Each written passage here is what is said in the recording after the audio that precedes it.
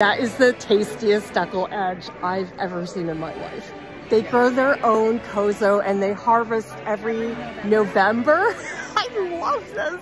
This is translucent abaca paper and it's part of the banana family. But wait, what are the sprinkles? Little flecks of paper?